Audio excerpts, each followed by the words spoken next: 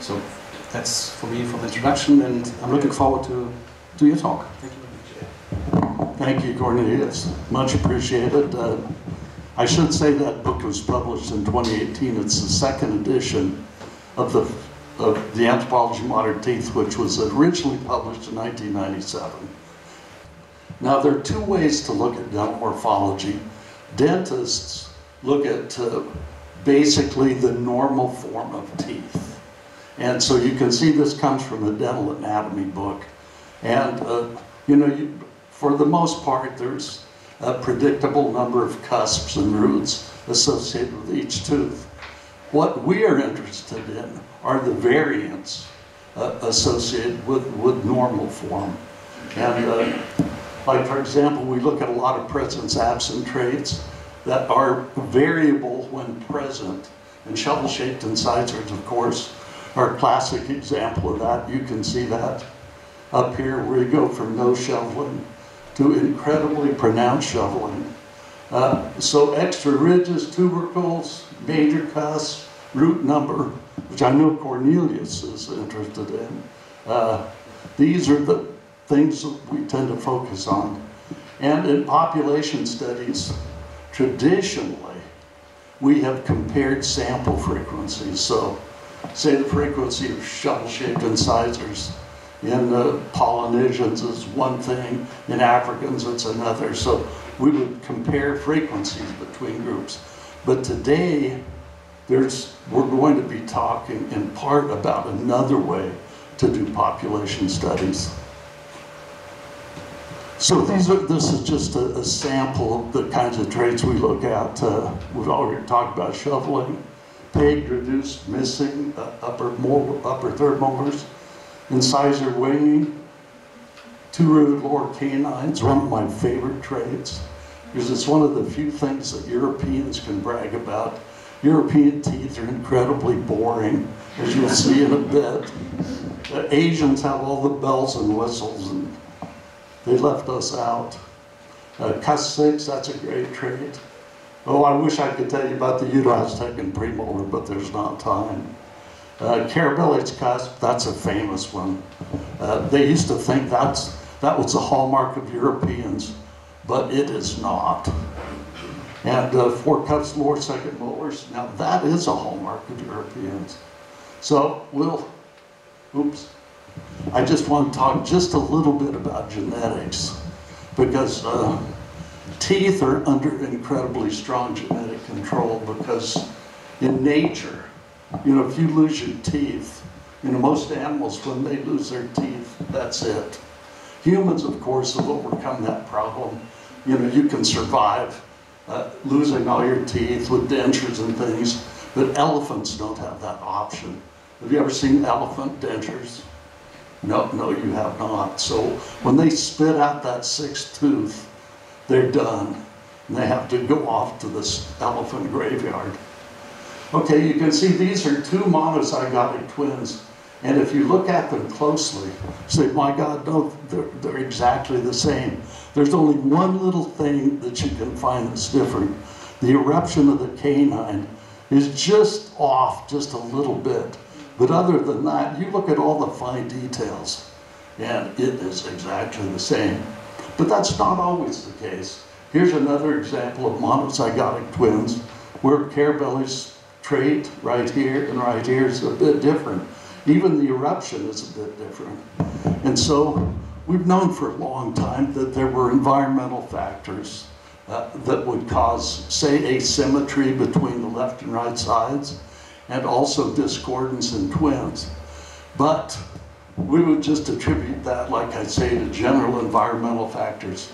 Now we're looking at it more in terms of epigenetics. And uh, I think that is really the, going to be useful to help explain asymmetry between traits, left-right asymmetry, and discordance in monozygotic twins, which I think may be caused by the same factors. So these traits are quasi, they're not simple Mendelian dominants, dominant recessive traits. That's what uh, Christy Turner wanted me to find when I analyzed families in my dissertation.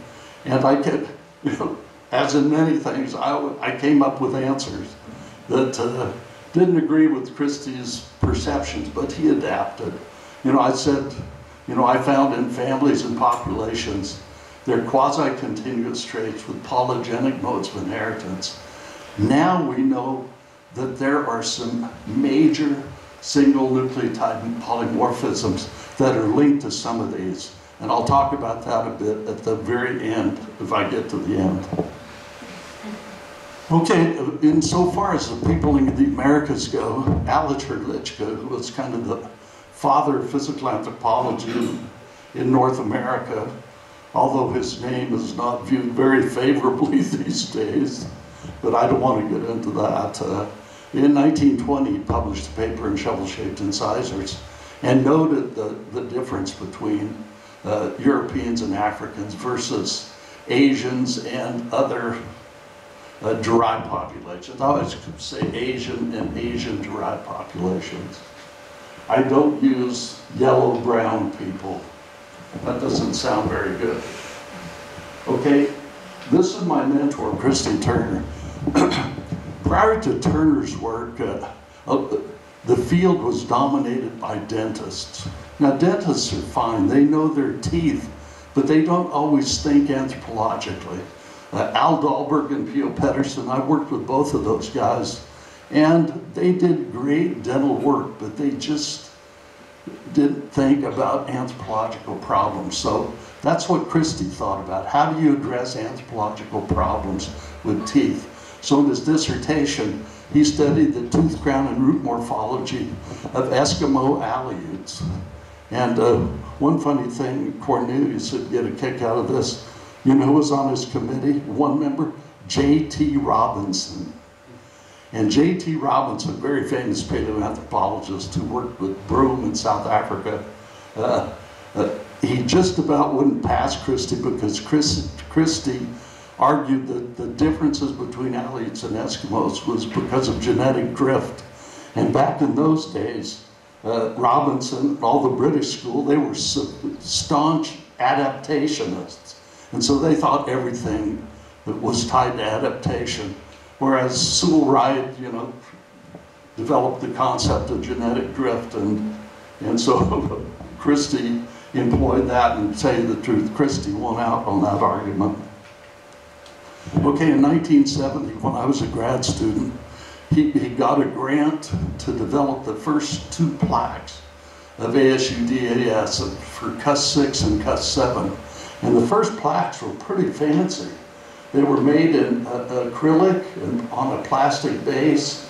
We would etch in the, the numbers and cusp name with a Leroy lettering set. This is so primitive. I'm sure Many of you have no idea what I'm even talking about. But uh, these were mass produced and sent around the world free of charge. So nobody was paying for these. Eventually, it became such a big deal that he did, did them in plaster. And uh, whenever anybody would uh, write and say, hey, we'd like a set of these, uh, somebody in the lab would put together a set and mail them. So uh, it was quite an operation. Uh, there I am when I was your age.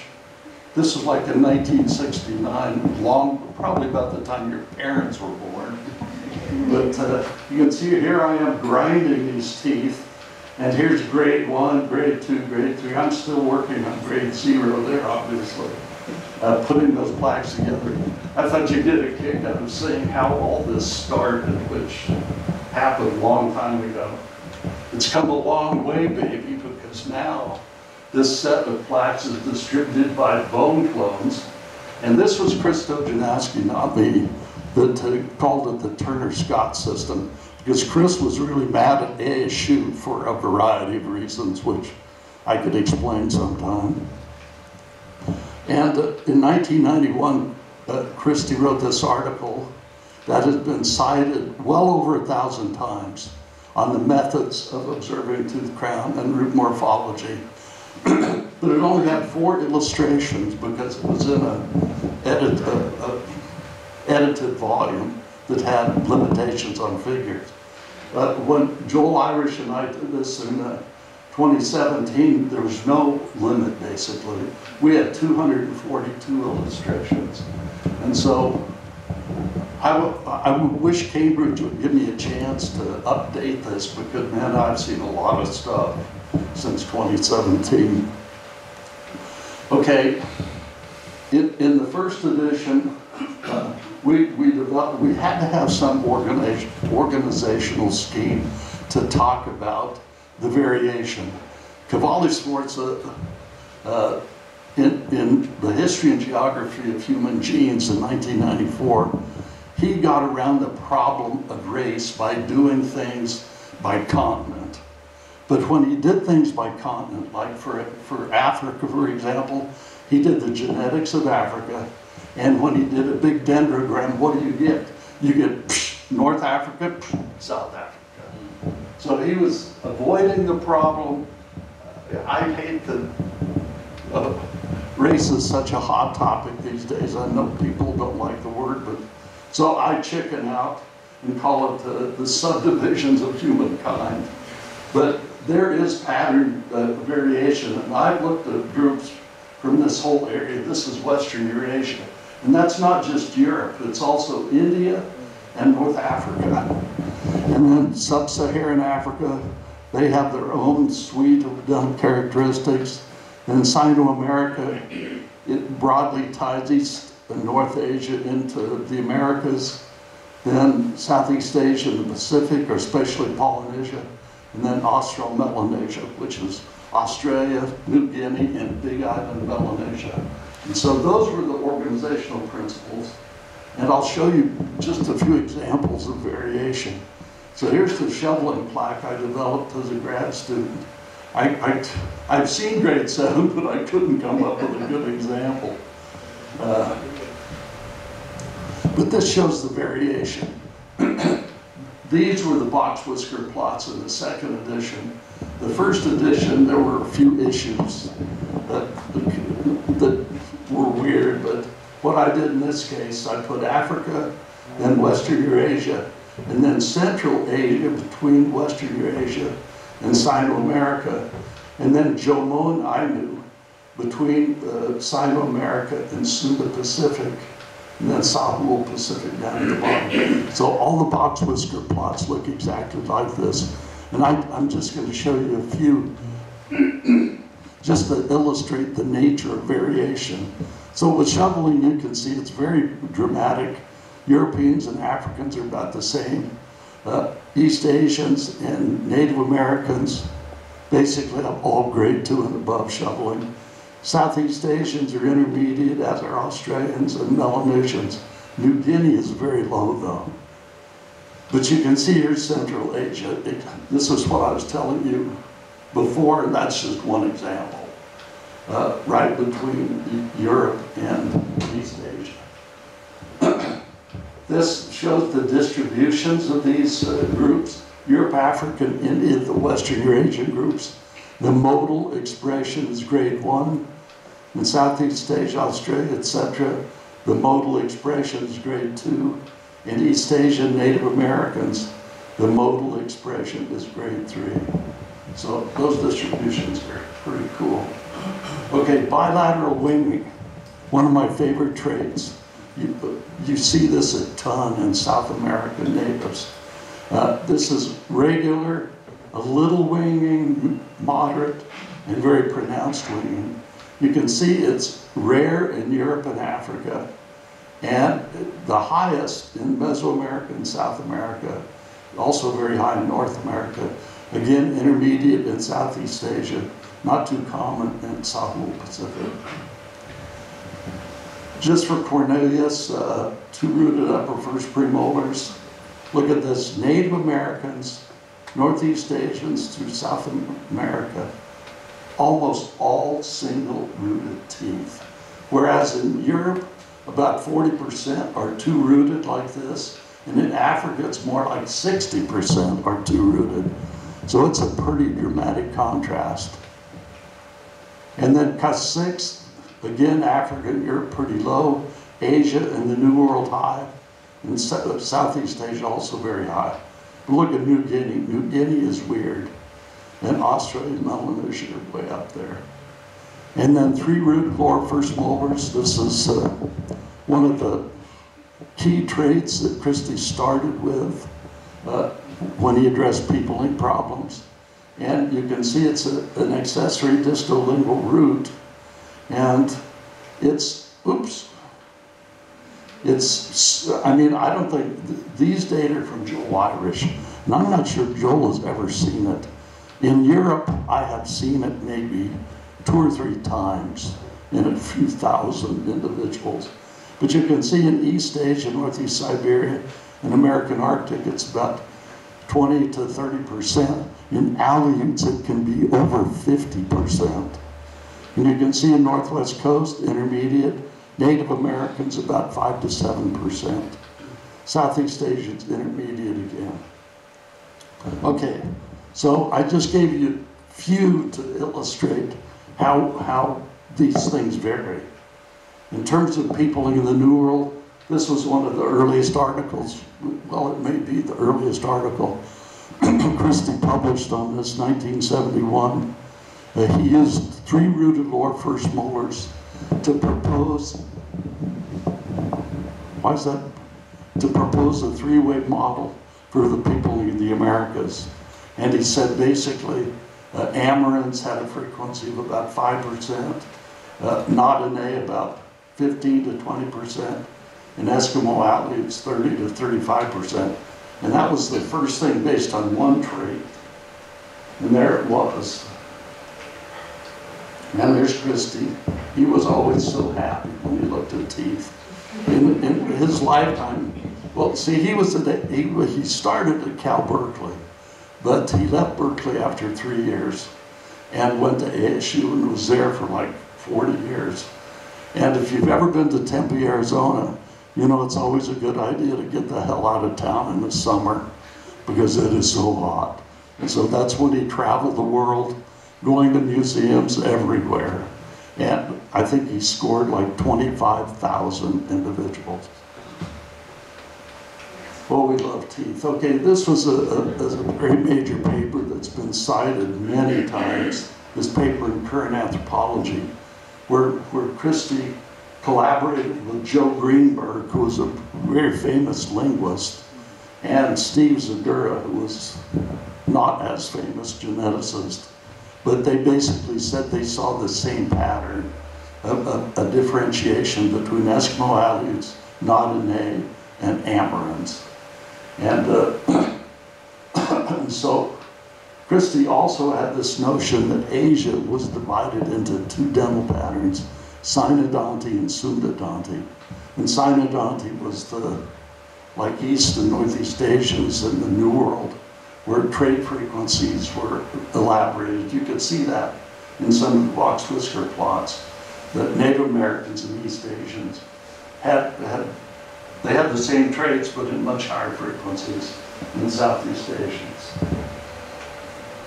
So this was the, the general dendrogram that uh, Christy developed, showing again macro-Indians right here, not in a Greater Northwest Coast right here, and then Eskimo Aleuts right here. And then based on that, he proposed that the earliest migration of macro-Indians came so, I don't know, he used Upper Cave as a reference, but as we'll see in a minute, Upper Cave was not a good reference. But he thought macro-Indians came first, then the Na-Dene came from Dyuktai, and the Eskimo Aleuts came out of the Amur River area, following the coast and got into the New World that way. And he was never sure. He always thought that Amerinds got here first, but he was never sure if Eskimo Aleuts or Na-Dene got here second. And uh, things are now a little bit different, though. In 2008, Christy and I wrote an article together in honor of Bill Workman, and uh, basically he wanted to re, how do you say it, just basically review what he'd been saying for 30 years. But I started, I did the writing, and when he read it, he said, well, Richard, maybe you should be first author, because this did not exactly agree with his worldview. So the problem is not innate intermediacy. Because if those groups came out of the same common ancestor at one time, they should all be equally distant from one another, but they are not. It's more like this, where AB equals AC and AC, those are greater than BC. And so these were the alternate models. This did not work. There were various reasons. You're going to see that we often have dendrograms that look exactly like that, where Eskimo Alley, not in the greater northwest coast cluster, and then Amerinds. But then here we have Eskimo Aleuts and Na-Dene with American Indian. And here we have Eskimo Na-Dene with gene flow with American Indians. And here Eskimo Aleut, Na-Dene with American Indians, but gene flow between Eskimo Aleuts and Na-Dene. There are various genes, I don't have time to go into it, that almost certainly indicate that the situation was like this, where uh, Eskimo Aleut, Na-Dene shared a common ancestor more recently than they did with Amerinds, but there was definitely gene flow in Canada and in the western, well, somewhere in Canada, because they share one gene in common that you just cannot explain without gene flow, and that's between Algonquins and Na-Dene, and it's uh, albumin Naskapi or an albumin algonquin. Both of them have it, three to five percent. Nobody else has it except through gene flow. So there was definitely a gene flow in the subarctic. Okay, a, a few years ago, Gary Haynes, who some of you may be familiar with because he wrote a book called The Settlement of the Americas, and he was always the, the guy that was putting up the Clovis first fight. And uh, so he fought hard against Monte Monteverdi and all these other early sites, but eventually lost the battle. But he was a stubborn guy, but he, he was a, he's a great guy, great scientist, very rigorous. But uh, there was a, a symposium in his honor, and I had to do a paper, and so I'm not a taphonomist, that's one of his big things, right? so I thought I could do something on the peopling of the New World. And that led to something that I didn't really anticipate. And uh, this was published in QI in 2018. And this involves what is called the Beringian standstill or the Beringian incubation model. Now, there is one thing about Native Americans that Christie didn't fully understand because he, he thought that Eskimo Aleuts were closer to East Asians than Amerinds, but it turns out that's not exactly true. He also thought that East Asia clustered with all the Amerants in Southeast Asia was Sundagons, and they were different. But the difference between East Asians and Native Americans is so dramatic. They almost had to have been isolated for eight to 10,000 years for those differences to develop. And that happened up in the north, way up in the north. Now, I don't know if many of you have heard of the Yana rhino, uh, the Yana rhino horn site. Have you guys heard of that? It's over, it's at 70, it's on the Lena River, it's at 71 degrees, which is way up there. It's over 30,000 years old. And it, interestingly, they found two teeth from Yana, but they are not, genetically, they're not linked to Native Americans. They're linked to Western Eurasians. And that's really an interesting story I don't have time to go into, but, but the ancestors of Native Americans got up there into the, probably this Arctic plain. They couldn't move into the New World because of ice sheets and coastal glaciers. And so they didn't really, now, now, I don't want to get into the, the footprints at, White Sands and how early things were, so I'm going to stick to what I have, but that, that's an interesting story about the possibility of an earlier migration into the New World that we really can't see very well. Okay, so memorize all these numbers. I just wanted to show you what, see, these are the frequencies of the trades. And basic, and K is, uh, there are 135 samples. This is K. This is not N. So this is based on the averages of 15 samples, 15 samples, you get 11 samples, etc. So these estimates are pretty darn good.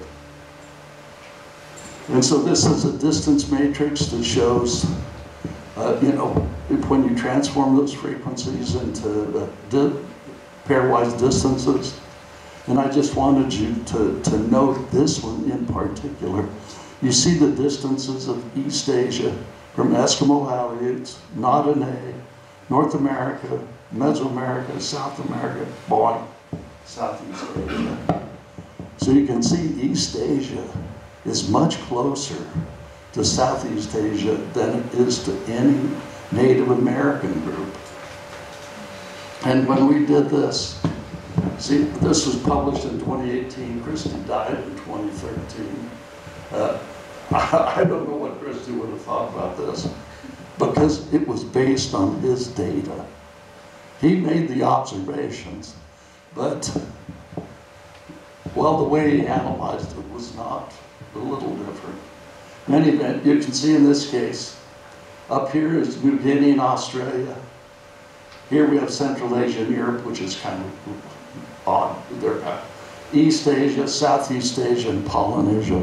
And down here are all these Native American groups. You can see not a Native Eskimo Aleut clustered together. So, you know, even, even with admixture, they have to cluster somehow. And the geneticists find basically exactly the same thing. Not an A and Eskimo clustering together. This just shows the ordination of the same thing. All the Native Americans up here, East Asia in the middle, Australia, New Guinea way down there. This one involves temporal samples. You see Southeast Asia late and early, East Asia, Australia, New Guinea is way out there, and then all the Native Americans here in North Nod and Eskimo Valley going together. So they do not cluster with East Asians. And I, this is one of my favorite uh, diagrams with these big balls. big shiny balls, look at New Guinea, big uh, golden ball, Australia down here. But look at this, Southeast Asia early, Southeast Asia late, East Asia.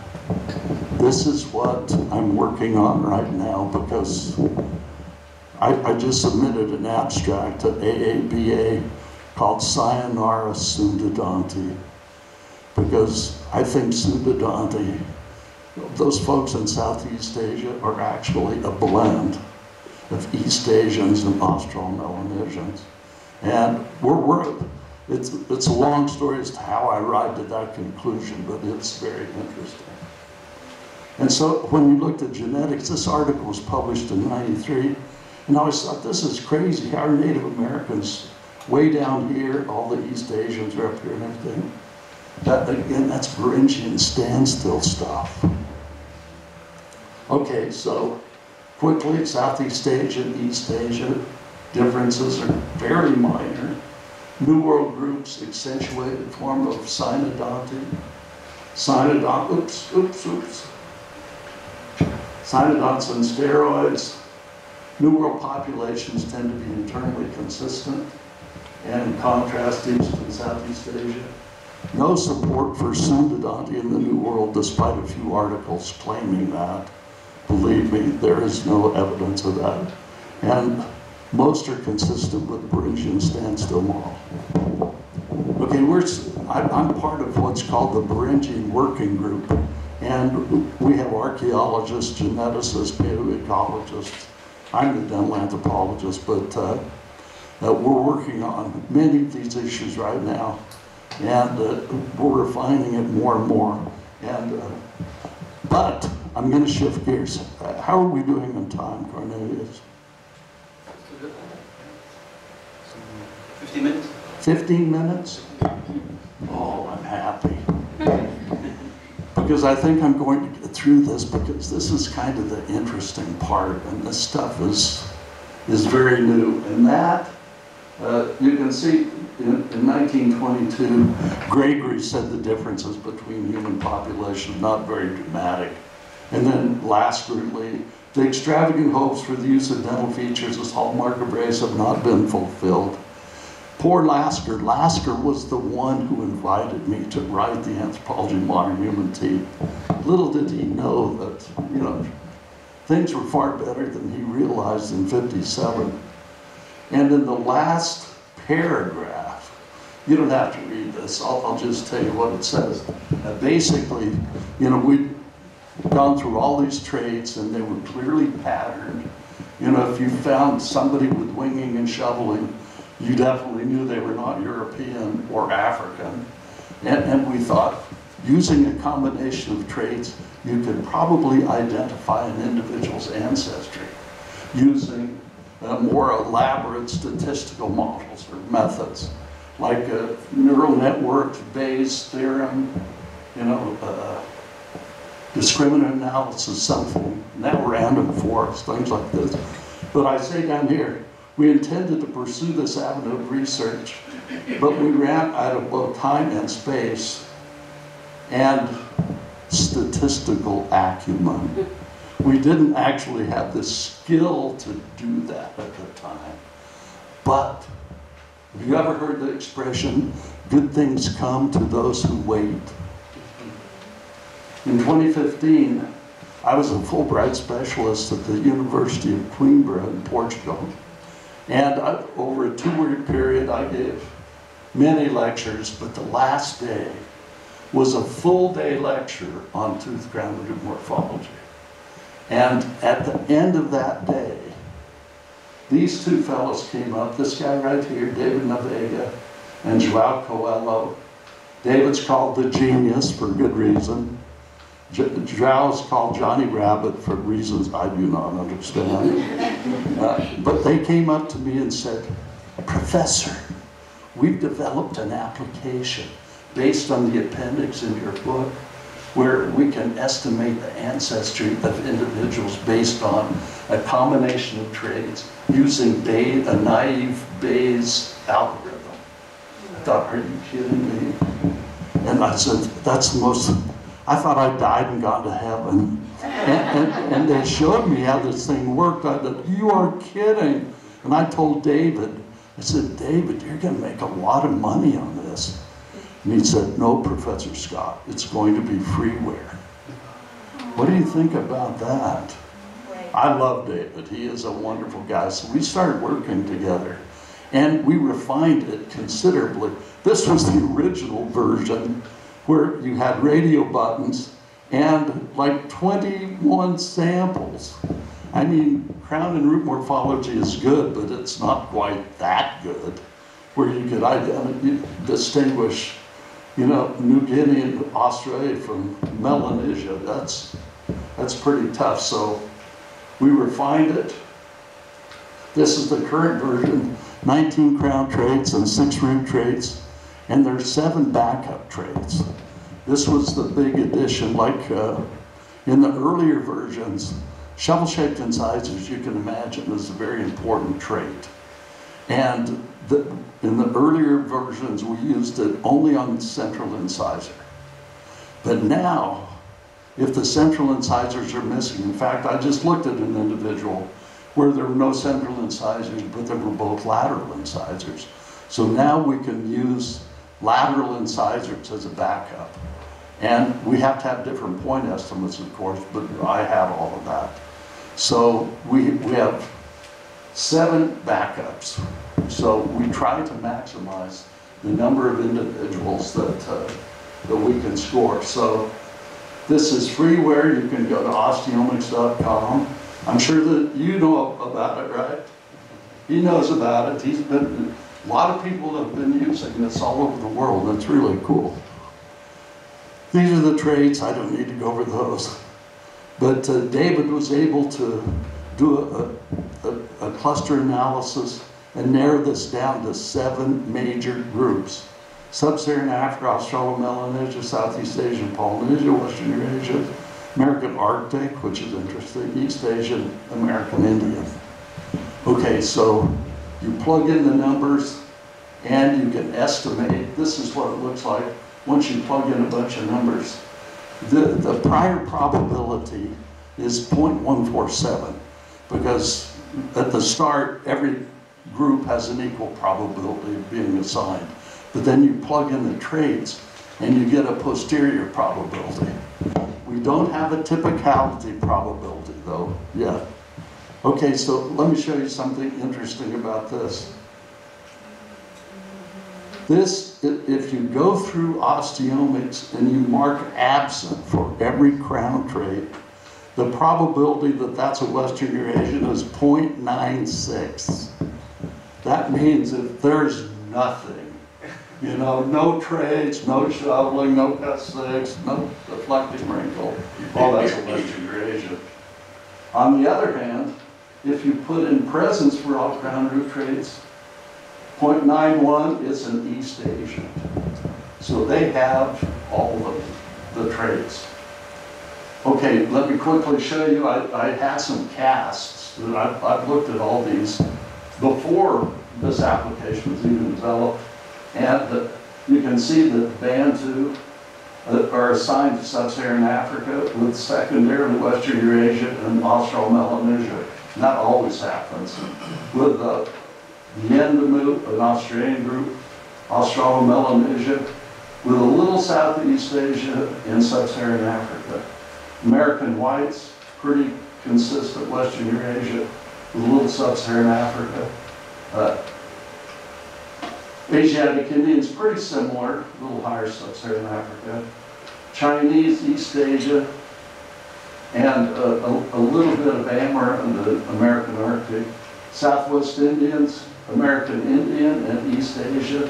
And this is the one that screwed up, Southeast Asia.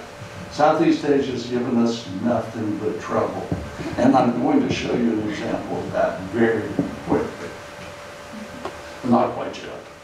Okay, this is an article coming out very soon. Uh, the Bayes probability point estimates are based on Christy Turner's data.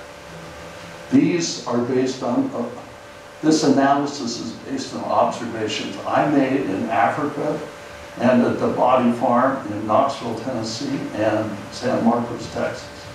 So we looked at American whites, African blacks, and African Americans in Cape Colored from Cape Town.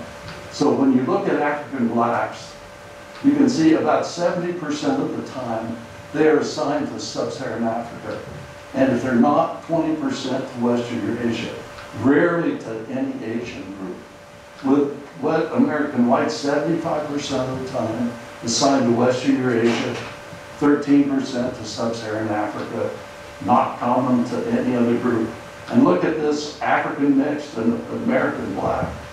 I could, if I cheated, I, like Donald Trump, I could lie to you, but I'm not, I'm not a liar or a cheater. I can't hardly believe how good this came out. That African mixed, 41% African, American black, 40% African, 29, 32.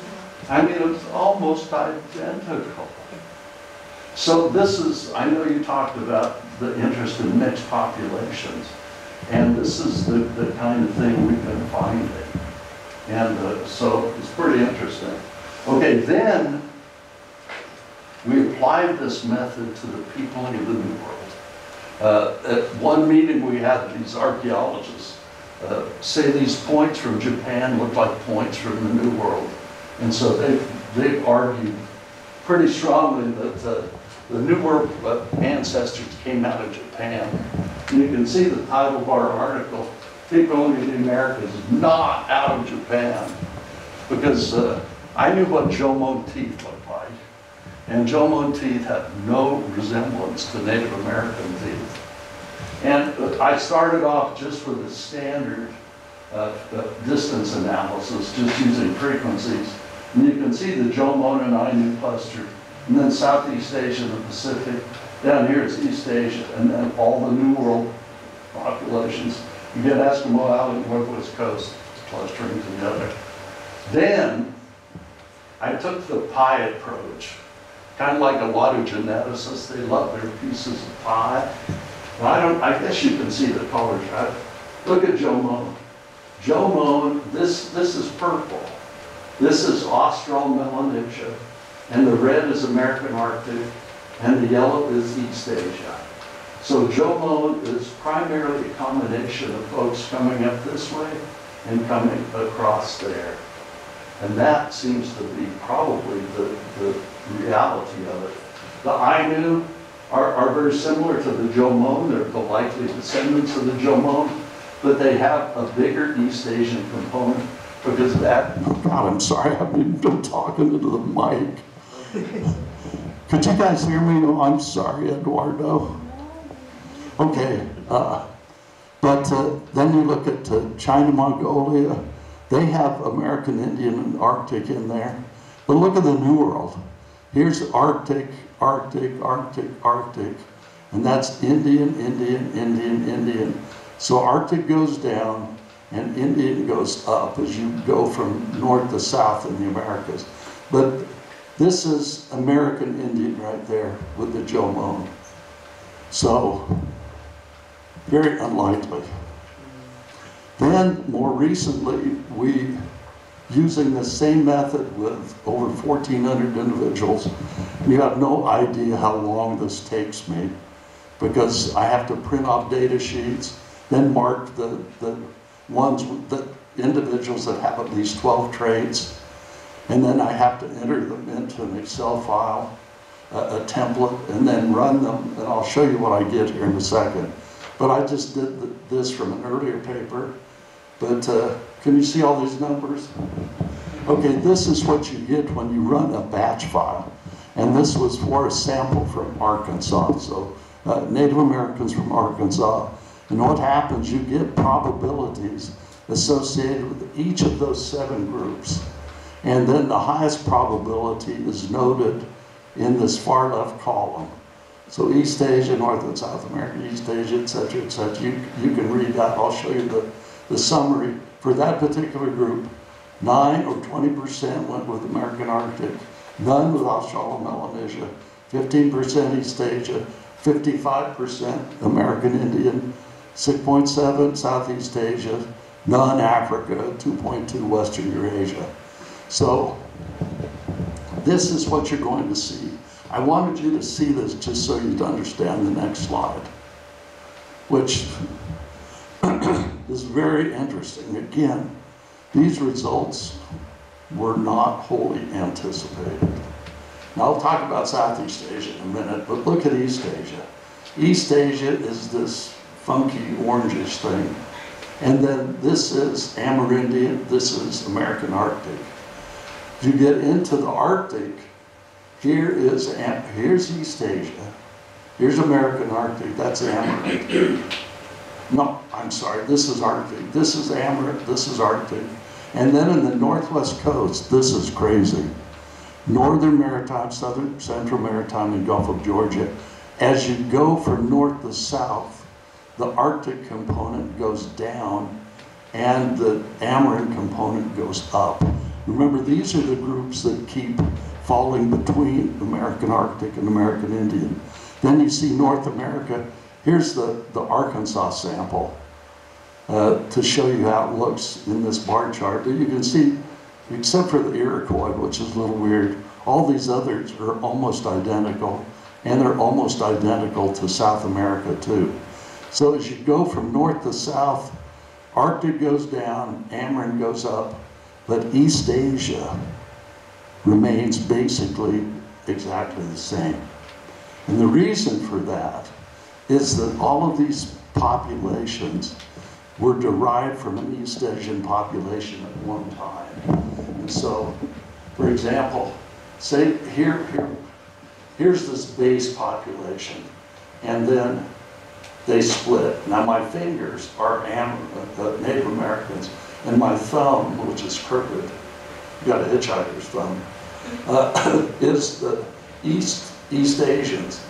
And then all of these populations, when they start, start diverging, are actually, or, or are the same distance from East Asians as, well, you see what I mean. They're, American Arctic, Amerind, and Northwest coasts are all equally distant from East Asian. And you can see there's a, oops, basically a line of American Arctic going down, down, down uh, from, the, from measured from the Arctic Circle.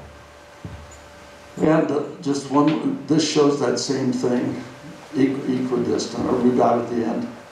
Five minutes, yeah. Five minutes? God, I don't think I've ever co- covered this and, uh, okay, I'm happy because I want to talk a little bit about this. Okay, let me take a drink. I've got five minutes.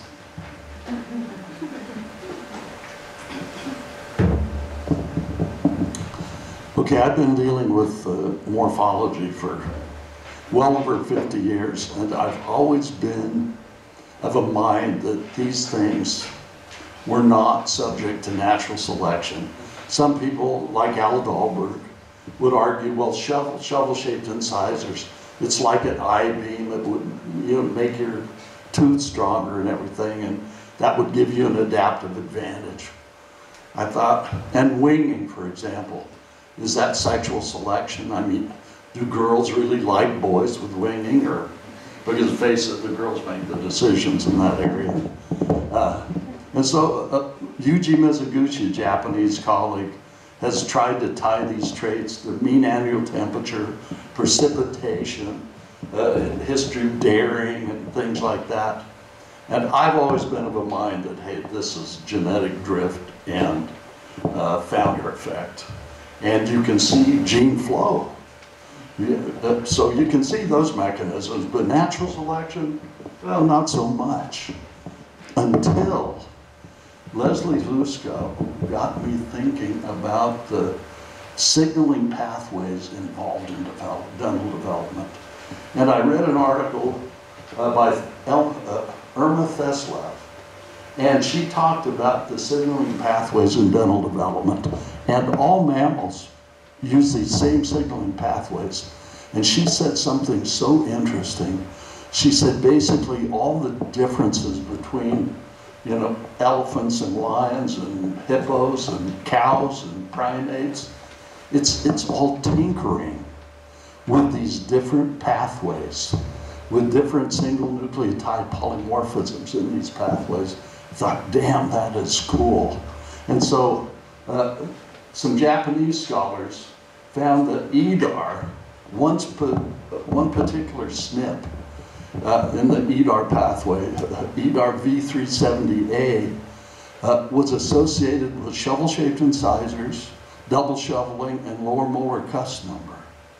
I thought, now that is interesting. And then Leslea developed the, the hypothesis that this was uh, related to some, some severe selection pressures in the Arctic, not on shovel-shaped incisors, but on uh, breast ducting, uh, vitamin D, uh, fatty acid dehydrogenase, things like that, things that were very important under those severe Arctic conditions.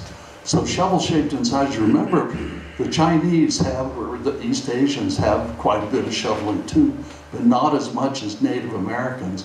And so basically, uh, shoveling was pulled along with selection on these other variables. And so now uh, there's this notion that dentomorphological traits, some of them, maybe not all of them, are genetic hitchhikers that are tied to traits. You know, they themselves are not directly influenced by selection, but variables they're associated with are. So this is a pleiotropy, where one gene has multiple effects. And so there are a whole number of these. And so my graduate students and I, we went through uh, Kenneth Kidd's Alfred. Uh, I don't know if any of you have ever seen Alfred, which is the allele frequency database.